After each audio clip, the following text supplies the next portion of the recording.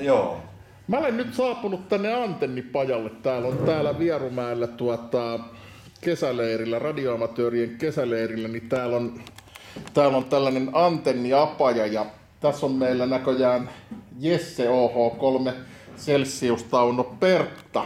Hyvää päivää. Päivää. Te olette nyt täällä vähän ihmisiä opastamassa, että miten tehdään antenneja. Kyllä, näin, näin on tarkoitus. Onko tässä nyt 70 sentin vai 70 sentin antenni varmaan joo, menossa? aivan oikein arvattu, eli on tehty 70 sentin aaltoaloille 12 elementin antenni. Paljonko tästä tulee keiniä sit, kun tää on valmis? No se on hyvä kysymys, että se täytyy mitata. Joo. En, en, en uskalla yhtään sanoa, paljonko tulee oikeasti. Et se riippuu sitten, miten, kun se viritetään, niin me nähdään siitä se sitten. Mitäs tällaiselle häkkyrille tulee hintaa? Materiaalithan maksaa ja näin tää- poispäin, niin Joo.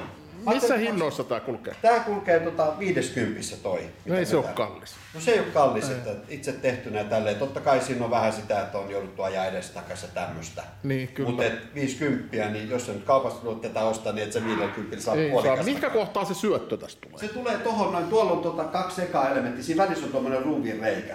Niin? Siihen tulee tää kotelo, No, ja sinne kotelon sisään tulee sitten tarvikkeita, niin tehdään tämmöisellä ö, koaksella tehdään siihen paluuni, joka on tämmöinen tasapainotussysteemi, ja sitten tähän tulee tää perä tänne näin.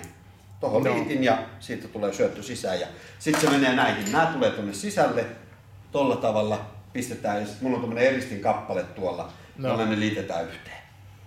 Ja sitten vaan mennään ulos ja testataan se antenni ja sitten näitä hiotaan sen mukaan, että saadaan se taajuus kohdalleen.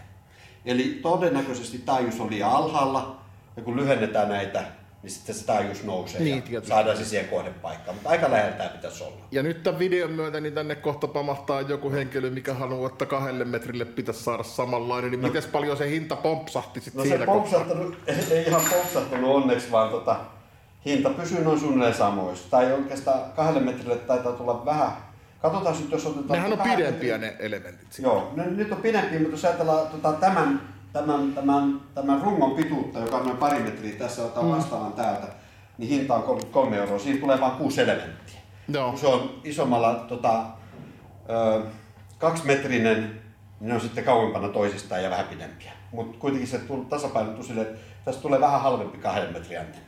Joo. Mutta ei nyt liikaa mainita, että täällä on kymmentä yhtä aikaa olla. Tuota, joo, mutta minun ottamalla yhteyttä, niin ihmetellään. Ja leirillä on tämmöinen palvelu olemassa. Joo, kyllä. No miten se nyt käytännössä sitten menee, kun tähän nyt sitten joku hami tulee ja sanoo, että mä haluan nyt sellaisen, että mä en oikein osaa tehdä, niin opastaako se nyt sitten niin kädestä Ihan, miten ihan kädestä tehdään? pitää. Meillä on puhdas putki tossa.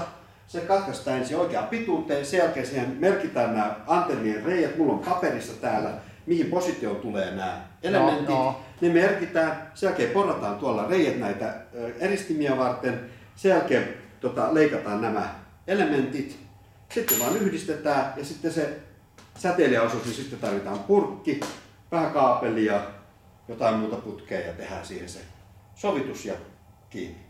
No nyt kun me ollaan täällä leirillä, niin jollain pitäisi olla sellainen pikku putki, mikä se antenni laitetaan kiinni, että pääsis heti testaamaan Tää, tuolla. no se on se juttu, että tota, tähän pitäisi oikeasti testata siihen, mihin se pistetään. Niin, kyllä. Ja meillähän nyt hän on niinku aika kaukaa täältä, että ei me lähdetä sinne ajelee. Niin. Mutta mulla on tuossa ulkona semmonen, se mikä se nyt on tää tämmönen puutarha varjo, se semmonen tuki se, se graniittinen lohkari ja siinä on se putki.